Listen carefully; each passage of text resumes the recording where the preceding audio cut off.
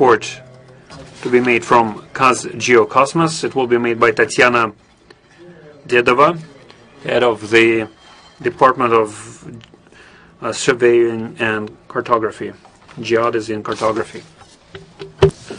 Здравствуйте. Hello, dear participants of the conference. I have been introduced. I would like to share with you our experience. this will be a follow-up to the previous uh, presentation. Experience of creating digital topographic maps of industrial area-based territories. As Rustem told you, our company is well experienced in working with uh, leading Kazakh uh, companies. They include include and others. So I would like to share with you the results of our cooperation. Overall, creation of topographic uh, maps and plans can be described in uh, as having several stages. First, we do geodetic control um, network survey, carry out aerial survey, followed by photogrammetric processing, followed then by field topographic uh, interpretation, and the creation of digital uh, plans. So I will elaborate now on each of these stages. Geodetic control network uh, survey includes, uh, uh, first of all, the location of of a um, grid located within this area.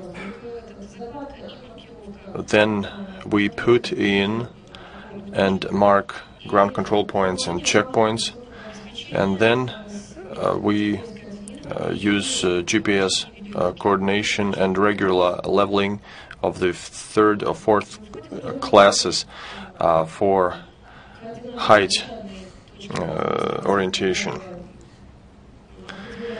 Originally, we look at minimums of daily records and adjust it. If uh, necessary, we change coordinates to the local required framework. This slide shows uh, one of the examples of the networks generated and the time of uh, measurements. I will not elaborate on uh, aerial survey except to say that the available equipment is sufficient to perform all stages of aerial survey in order to deliver all major regulations to deliver compliance with all major regulations of Kazakhstan. After that, uh, we have uh, the full cycle of photogrammetric processing, uh, which was uh, provided to you in full detail by my colleague before me. What I would like to do now is uh, to tell you about uh, digital mapping. This all begins at the time when digital elevation model is being created. Those uh, break lines that are drawn by uh, PHOTOMOD, uh, both artificial and uh, natural, are then converted into shape files and imported uh, in the respective layers of um, geodata. The next stage is field topographic interpretation. Uh, we study the terrain using available aerial survey materials. Typically,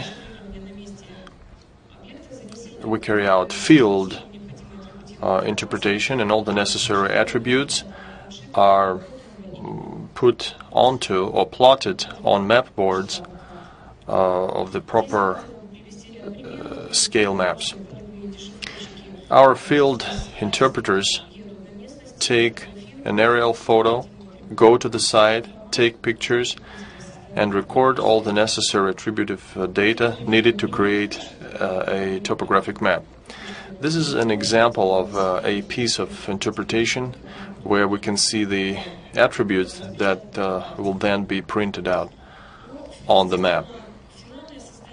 The final creation of large format maps uh, is done using ArcGIS uh, program based on orthophoto plan. Vectoral data typically consists of uh, certain layers that you can see on the slide, but depending on what the customer wishes, the structure can be amended as need be.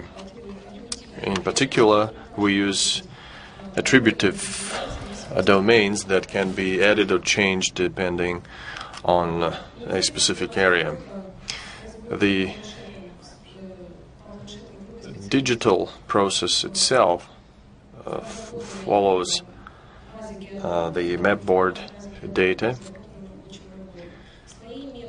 layers and uh, tags of the work tool or work kit are provided with a special legend, special sign adopted in Kazakhstan.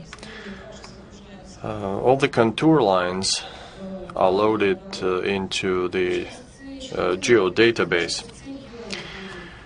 In order to better represent the surface, an algorithm has been developed to compute the location and uh, slope of bare contours. This is done using ArcTool box, uh, which uh, gives us uh, the direction and uh, the direction of slopes. Next stage is quality check or quality assurance, which includes several stages. Of course, we utilize the full suite of ArcGIS to verify topology and topological ties of our sites. I would like to give you some uh, examples, case studies. This is a, a map of a mining site. This is Anenskaya mine. Near near this site, uh, you can see uh, landfills. Uh, next picture is a Dunga deposit owned by Maersk Oil, Kazakhstan. And as mentioned earlier, we have uranium deposits as well, owned by KATCO company.